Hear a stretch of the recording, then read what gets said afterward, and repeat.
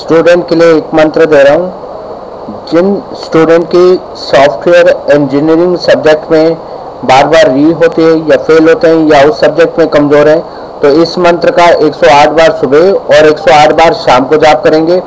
इस मंत्र के जाप करने के दौरान वो जंक फ़ूड, दही और लस्सी का सेवन कम करेंगे। मंत्र है ओम, श्रीम श्रीम, हंग, वंग दुंग दुंग नमः शिवाय।